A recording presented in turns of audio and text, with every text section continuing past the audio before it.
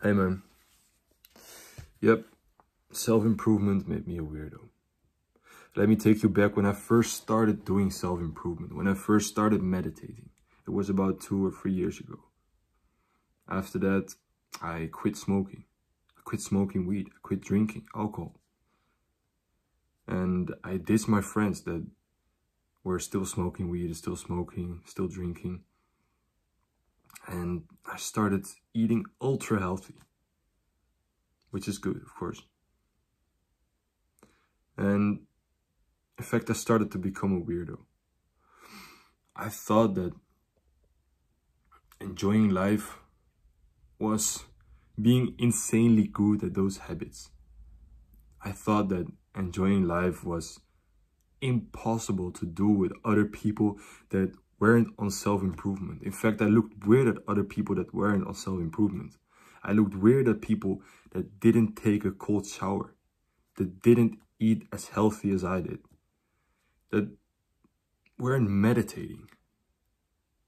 All of these things. And in fact, I became a weirdo. And you could say maybe you have to become a weirdo in order to be successful, get successful. But I think this is unhealthy. I think this is the unhealthy weirdo. So you have a weirdo that's obsessed with maybe plants, that's obsessed with books about, I don't know, Roman Empire, right? These type of weirdos are healthy because they are weird in their own interests. But these interests, they weren't really interests, they were habits. Habits that were not really mine. In fact, they were just, well, something that I saw online, something that I saw in videos, that I read in books. These weren't things that genuinely interested me. These were things that I just followed because someone online said that it will be better for me. And a lot of these things, they are good for me. I know now. A lot of these things, they are getting the best out of myself. But a lot of these things also aren't. I took it too far, self-improvement. I thought of everyone as a weirdo but me. And in fact, I became the weirdo. I became the guy that was in fact so autistic about everything. I remember when I went to a meetup with one other guy and he wouldn't eat anything. Why? Because it wasn't organic. He wouldn't eat a fucking meal. He would just sit there and stare at other people eating because the food wasn't organic.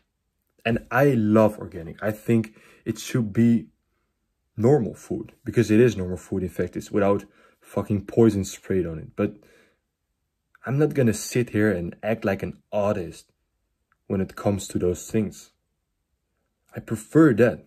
But at one point you have to realize that certain things you overreact in certain things you're taking too far like not eating when it's not organic or being fucking mad at yourself because you skipped a day of meditation.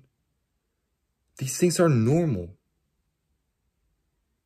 These things happen, you know. If you want to live a happy, healthy life, if you want to have a happy, healthy mind, you can't be mad at yourself if you skipped a day of meditation because you'd rather eat with your family or something.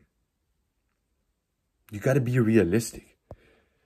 Stop being an artist on these things. You're a fucking artist, man. And I was too. I realized that the things that gives you joy in life is doing fun stuff with other people. Sharing happy moments. And I still go and cold shower every day, if I can. I still meditate every day. But, and I still eat organic either, but I'm not a statistic anymore. I'm not this autistic guy that has to have it. Otherwise, it will fucking be mad at itself. Otherwise, it will be unhappy. Start living. Stop trying to focus on all these habits because once you know them, just do them. And if you can't, there's no trouble at all.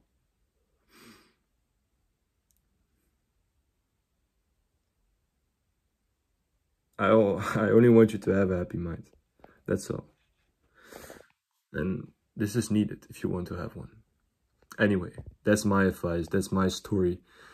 If you feel different about it, you're completely fine to do whatever you want. But let's make the world a better place. And I see you.